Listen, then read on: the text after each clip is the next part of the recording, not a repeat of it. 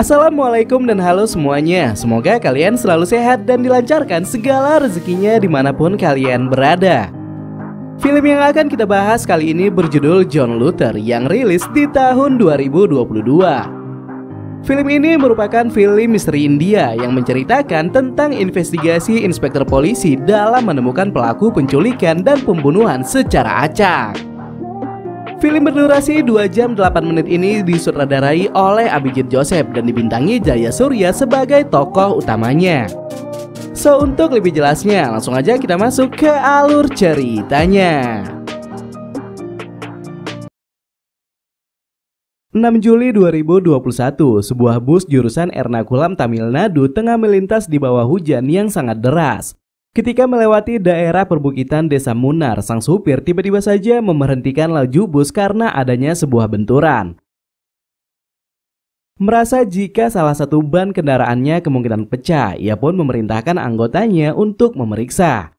Namun setelah semua ban diperiksa dan keadaannya baik-baik saja, tiba-tiba saja ada seorang penumpang yang berteriak histeris karena melihat darah di balik jendela.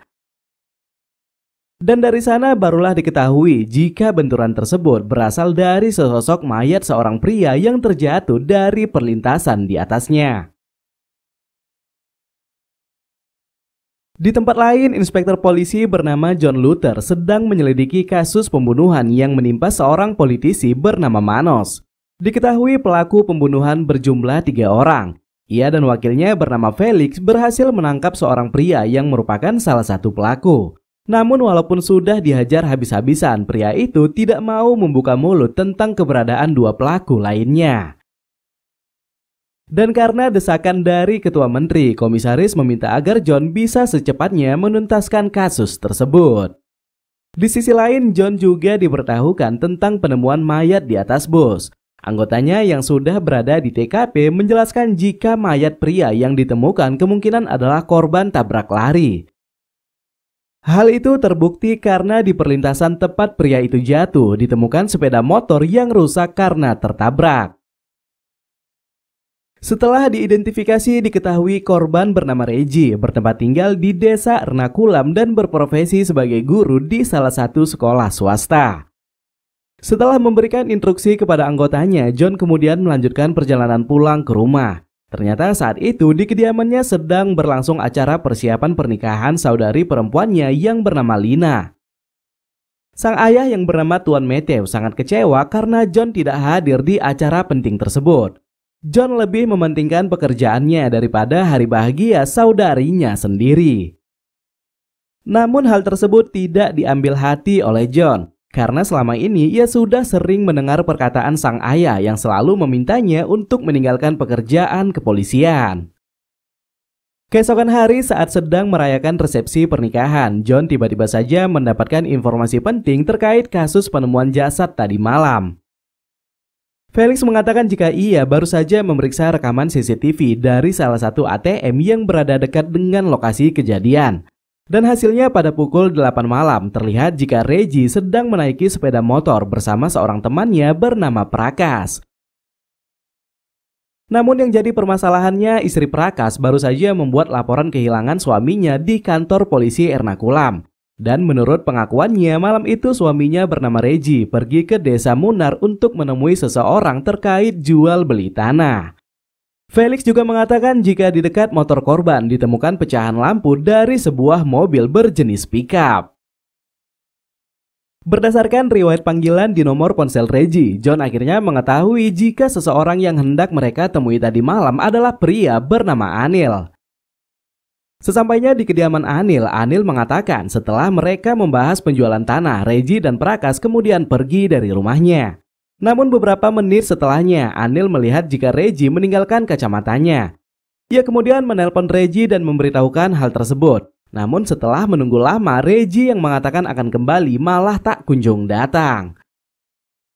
Untuk menemukan sebuah petunjuk, John memerintahkan agar Felix mengumpulkan foto-foto dari semua penumpang bus saat insiden tersebut terjadi.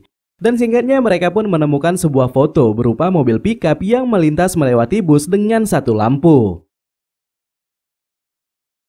Untuk memeriksa siapa pemilik pickup tersebut, John kembali memutar rekaman CCTV. Dan setelah memeriksa nomor platnya, diketahuilah jika pemiliknya adalah pria bernama Vargas. Tanpa membuang-buang waktu, John dan tim segera melakukan penangkapan. Awalnya Vargas tidak mengakui jika ia melakukan tabrak lari. Namun saat John menunjukkan bukti foto dan kwitansi penggantian lampu yang dilakukan Vargas, akhirnya Vargas tidak bisa mengelak lagi. Vargas adalah seorang pedagang sayuran. Setiap harinya ia selalu membawa dagangannya melewati daerah perbukitan desa Munar. Malam kejadian insiden tersebut saat cuaca sedang hujan deras, Vargas yang sedang memutar musik di mobilnya tidak menyadari jika ada sepeda motor yang melintas di depannya. Dan karena hal itu ia pun tidak bisa mengelakkan tabrakan tersebut. Vargas yang sangat ketakutan kemudian turun untuk melihat keadaan korban. Dan betapa terkejutnya dia karena salah satu pengguna motor yang tak lain adalah Prakas sudah terkapar di tengah jalan. Karena takut untuk bertanggung jawab, Vargas lebih memilih untuk pergi dan meninggalkan mereka begitu saja. Setelah mendengarkan pengakuan Vargas, John merasa harus melakukan penyelidikan ulang. Ia meyakini jika orang yang menculik Prakas memang bukan Vargas, melainkan kendaraan lain yang melintas selanjutnya. John kemudian kembali memeriksa rekaman CCTV dan setelah mengamati dengan cukup lama, ia pun menemukan sebuah pickup berjenis Mahindra yang melintas setelah Vargas. Namun yang jadi permasalahannya, pickup tersebut tidak memiliki plat nomor. 14 Juli 2021, tepatnya di Desa Atukat yang lokasinya tidak jauh dari Desa Munar, tampak beberapa anak yang hendak pergi ke sekolah. Dan tak lama setelahnya ada sebuah bus yang melintas dan menjemput mereka semua.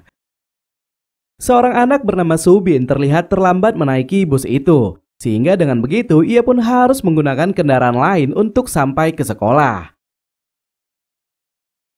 Tak berapa lama saat ia melihat sebuah pickup yang melintas, ia memutuskan untuk memberhentikannya. Dan untungnya pickup tersebut mau memberikan tumpangan kepadanya.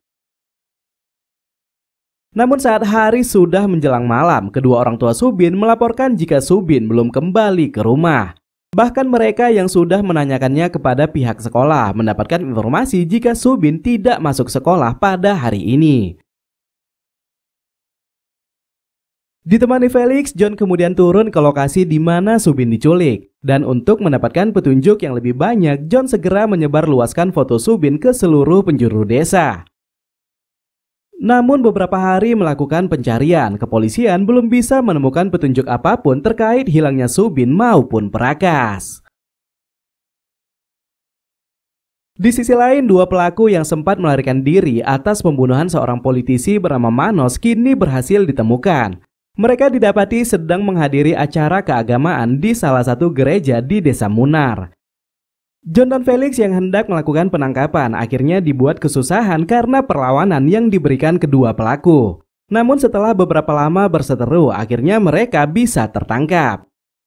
Akan tetapi sebelum hal itu, salah satu pelaku sempat memukul John dengan sebuah lampu. Dan akibat pukulan tersebut, serpihan kaca dari lampu itu langsung melukai gendang telinga John.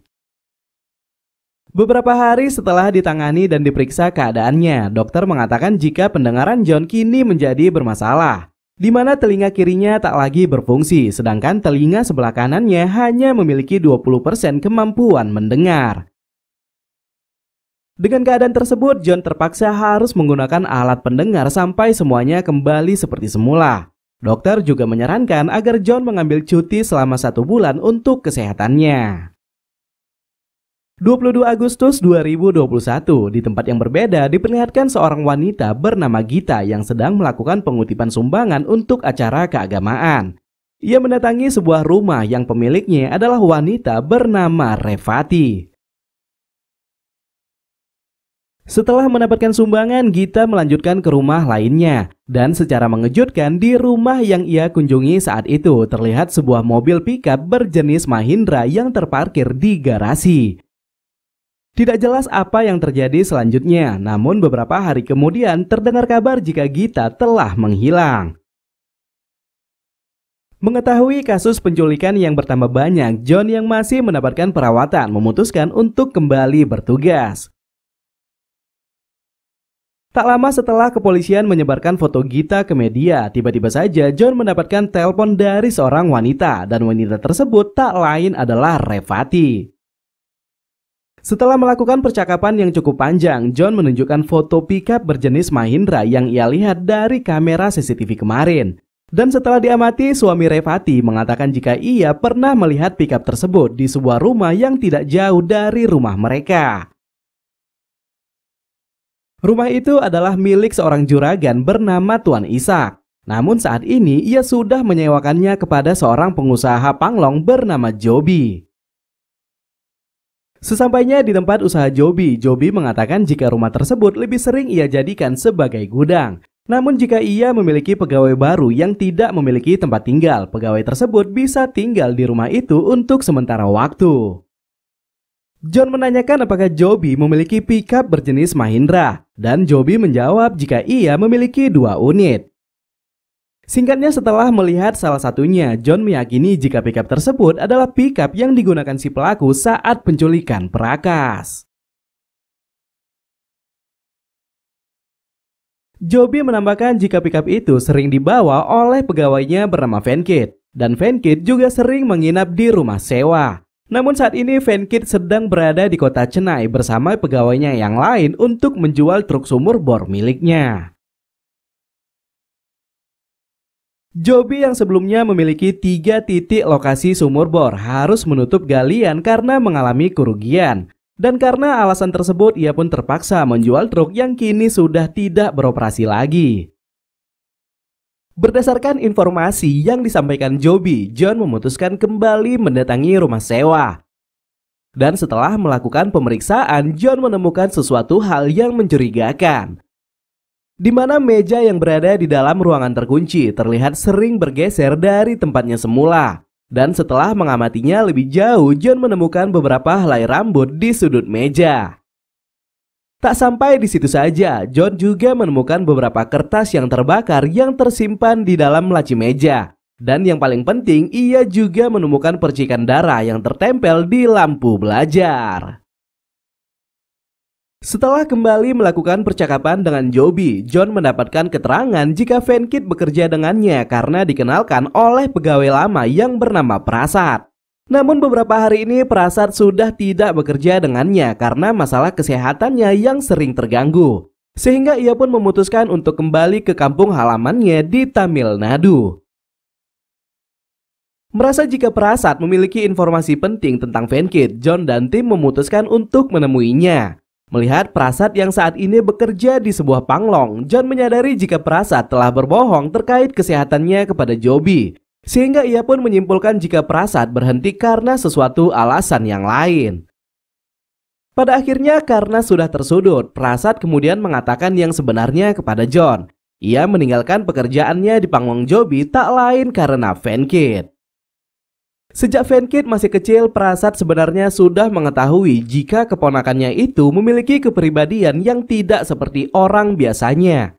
Di mana saat semua orang merasa asing dengan proses evakuasi mayat, Venkit justru sebaliknya. Ia memperhatikan dengan baik saat dokter forensik melakukan pekerjaannya. Bahkan saat remaja, ia pernah menangkap basa Venkit membawa salah satu otak manusia. Tak tahu dari mana Venkit mendapatkannya, namun kemungkinan hal itu ia dapatkan dari seseorang yang telah tewas di perlintasan kereta api. Setelah dewasa, Venkit yang memiliki kepintaran memutuskan menjadi seorang dokter ahli bedah. Dan untuk mewujudkannya, ia kemudian belajar dengan sangat keras dan akhirnya berhasil menjadi mahasiswa kedokteran. Di tahun pertamanya kuliah, Venkit mendapatkan kabar jika adik perempuannya jatuh sakit. Dan karena tidak memiliki biaya perobatan, Venkit yang belum memiliki lisensi memutuskan melamar sebagai seorang dokter di sebuah rumah sakit. Pada akhirnya karena kepintaran yang dimilikinya, Venkit diizinkan bergabung di rumah sakit tersebut. Namun di sinilah semua masalah muncul ketika ia menghadapi seorang pasien yang menderita penyakit pernafasan. Venkit malah menyuntikkan obat yang tidak sesuai. Dan hasilnya pasien tersebut langsung meninggal dunia.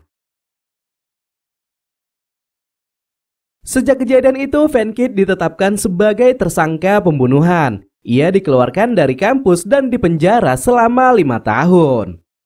Mimpi Venkit yang hilang ternyata tidak berdampak kepada dirinya saja. Adik perempuannya yang tak kunjung mendapatkan perobatan kini harus meninggal dunia.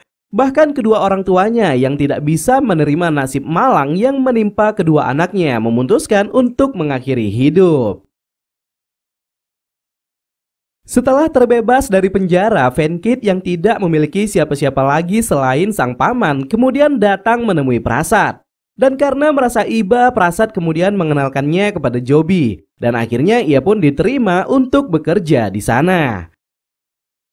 Namun seiring berjalannya waktu, Prasad menyadari jika Venkit ternyata masih memiliki ambisi untuk menjadi seorang dokter bedah. Malam saat melintasi jalur perbukitan desa Munar, mereka menemukan seorang pria yang terkapar di pinggir jalan. Dan setelah mengetahui jika pria tersebut masih hidup, Prasad memutuskan untuk menyelamatkannya. Namun di tengah perjalanan mereka pun menyadari jika pria yang mereka bawa sudah meninggal dunia. Prasad menyarankan agar membawa jasad pria tersebut ke rumah sakit. Namun Venkit malah membelokkan setir dan membawanya ke rumah sewa. Dengan santainya Venkit menyuruh Prasad untuk pulang dan sisanya ia yang akan mengurusnya. Setelah malam tersebut, Venkit tidak masuk kerja tanpa kabar. Dan dua hari setelahnya, ia kembali dengan wajah yang sangat bahagia. Beberapa hari kemudian, Venkit kembali tidak masuk kerja. Dan karena penasaran, Prasad mendatangi rumah sewa dan melihat apa yang telah terjadi. Pada akhirnya kecurigaan Prasad ternyata benar. Ia melihat dengan jelas jika Venkit sedang mengoperasi jasad seorang anak kecil. Dan seolah-olah menjadi seorang dokter, Venkit tanpa rasa canggung menggunakan pisau bedah dan memutilasinya. Setelah menceritakan semuanya, Prasad seketika mengalami sesak pernafasan. Dan John yang melihat hal itu segera membawa Prasad ke rumah sakit terdekat. Namun karena dokter yang berjaga saat itu belum datang, John memerintahkan salah satu personil polisi bernama Raja untuk menjaga Prasad. Sementara itu, John dan Felix akan kembali ke desa Munar sambil menunggu kedatangan Venkit yang kemungkinan tiba subuh dini hari nanti. Bersamaan dengan hal itu, John juga mendapatkan laporan forensik terkait darah yang ditemukan di lampu belajar. Dan golongan darahnya adalah B negatif yang cocok dengan golongan darah milik Gita. Di tengah perjalanan, John kembali teringat dengan tulisan yang terdapat di potongan kertas di laci meja. Dan setelah melakukan browsing, ternyata tulisan tersebut mengarah ke sebuah seminar kedokteran yang menjelaskan tata cara singkat melakukan operasi bedah. John yang merasa curiga dengan tiga galian sumur bor kemudian meminta Joby untuk memberikan tanggal berapa pastinya ia menutup galian tersebut. Galian pertama ditutup pada tanggal 6 Juli, galian kedua ditutup pada tanggal 14 Juli, dan galian ketiga ditutup pada tanggal 21 Agustus. Mendengar hal itu, John memiliki insting jika galian tersebut pasti ada kaitannya dengan ketiga korban yang menghilang. Yang pertama, Prakas diculik pada tanggal 3 Juli, tiga hari sebelum galian pertama ditutup. Yang kedua, Subin diculik pada tanggal 10 Juli, empat hari sebelum galian kedua ditutup. Dan yang terakhir, Gita diculik pada tanggal 22 Agustus, satu hari sebelum galian ketiga ditutup. Tanpa membuang-buang waktu, John langsung memerintahkan timnya untuk kembali melakukan penggalian ke tiga titik sumur bor. Dan pada akhirnya mereka pun menemukan jasad Prasad, Subin, dan Gita yang disembunyikan Venkit di dalam pipa galian. Saat sudah berada di kantor polisi, John mendapatkan informasi yang sangat mengejutkan. Di mana ia yang melihat daftar nama-nama dokter yang di blacklist, ia tidak menemukan nama Venkit. Dan malah menemukan nama Prasad di dalam daftar tersebut. Dari sini John menyadari sebuah kesalahan, di mana pelaku yang mereka cari sebenarnya bukanlah Venkit, melainkan Prasad. Dengan cepat John kemudian menelpon Raja dan menyuruhnya untuk melihat keadaan Prasad. Namun setelah Raja masuk ke kamar rumah sakit, Prasad tiba-tiba saja membiusnya dari belakang. Dan melalui ingatan Prasad barulah diketahui jika semua yang diceritakan Prasad tentang Fankit sebenarnya adalah cerita tentang dirinya sendiri. Prasad yang terobsesi menjadi seorang dokter ahli bedah harus melepaskan mimpinya karena kesalahan pengobatan yang ia lakukan. Dan seiring berjalannya waktu, Prasad yang masih mengingat mimpi tersebut mulai melakukan penculikan ke beberapa orang dan memutilasi mereka seolah sedang melakukan operasi bedah. Setelah membuat Raja pingsan, Prasad kemudian menariknya ke ruangan operasi yang ada di rumah sakit tersebut. Namun sebelum ia mengeksekusinya, John seketika sudah tiba di sana. Pada akhirnya setelah menemukan keberadaan mereka, John langsung menghajar Prasad dan mereka pun terlibat baku hantam sampai keluar rumah sakit. Dan singkatnya setelah melakukan perkelahian yang cukup melelahkan, John berhasil melumpuhkan Prasad dan membuatnya tewas seketika. Di akhir film dengan pulihnya kesehatan John, ia kembali mendapatkan tugas baru dari komisaris di mana ia diperintahkan melakukan penyelidikan pembunuhan yang terjadi di desa Naraga Kanam. Namun bersamaan dengan perintah tersebut, film pun berakhir.